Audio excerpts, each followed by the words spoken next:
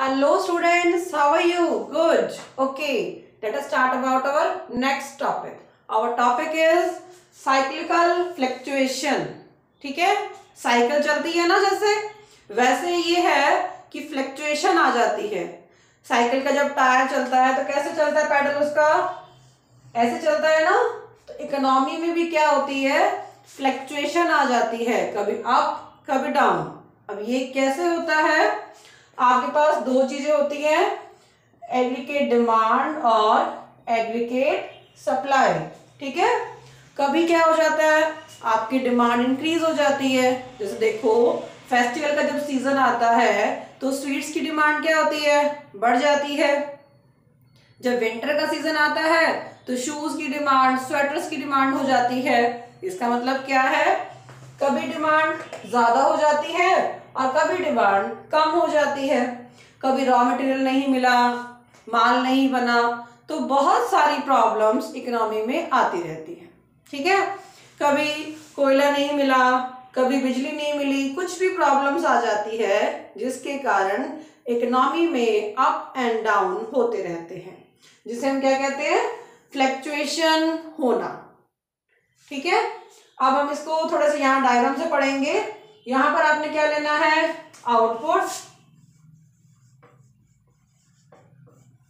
अब क्या हुआ यहाँ पर? ये क्या है लाइन फुल एम्प्लॉयमेंट की लाइन जो ये लाइन है, इसे हम क्या कहेंगे?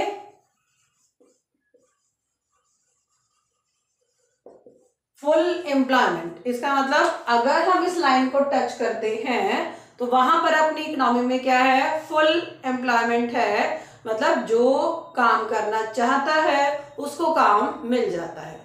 अब क्या हुआ? फुल एम्प्लॉयमेंट आ गई। सबके पास पैसा पूरा हो गया। अब क्या होगा? एग्रीगेट डिमांड बढ़ेगी। जब आपके पास पैसा आ जाता है तो क्या करते हो? डिमांड करते हो। कोई नई स्वेटर शूज़ मोबाइल फ़ोन तो क्या करते हैं? डिमांड करते हैं। डिमांड करने से क्या आ जाती है? आपकी इकोनॉमी ये आपकी डिमांड क्या हो गई? ज़्यादा हो गई। तो क्या हो गया? इकोनॉमी में तेज़ी आ गई बूम आ गया, ठीक है? तो ये क्या हो गया?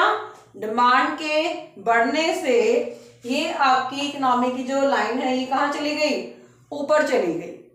अब क्या हो गया?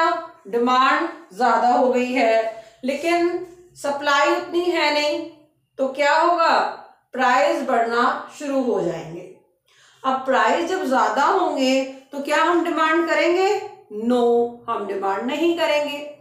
जिस चीज़ की जो चीज़ हमें 500 में मिल जाती थी वही चीज़ हमें 700 में मिल रही है।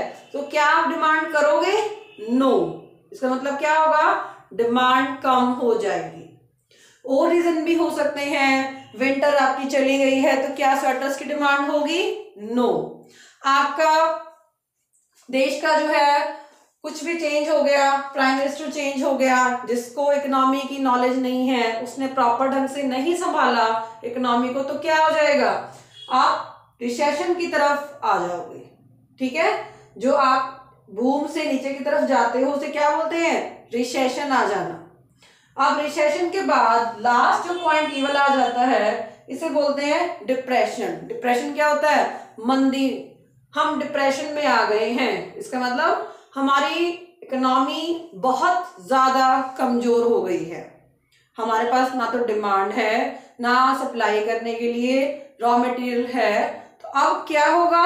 अब गवर्नमेंट को कुछ ना कुछ स्टेप उठाने पड़ेंगे हमें इस रिसेशन से निकालने के लिए। या वो फॉरेन की मदद लेगी।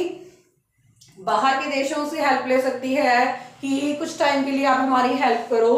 क्योंकि हमारी डिप्रेशन चल रही है, ठीक है? तो उनकी हेल्प से भी क्या हो सकता है? इकोनॉमी डिप्रेशन से निकल सकती है। अब कुछ वो खुद अफोर्ड करेगी, कुछ बाहर के देश उनको हेल्प करेंगे तो क्या हो जाएगा? वो रिकवरी कर जाएगी।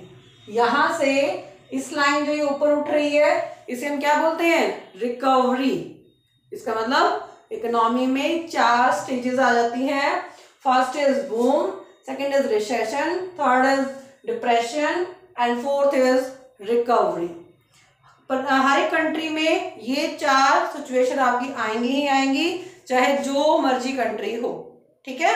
आपकी डिमांड कभी कम हो जाएगी, कभी सप्लाई कम हो जाएगी तो ये चार सिचुएशन हर एक कंट्री को फेस करनी पड़ती हैं, ठीक है?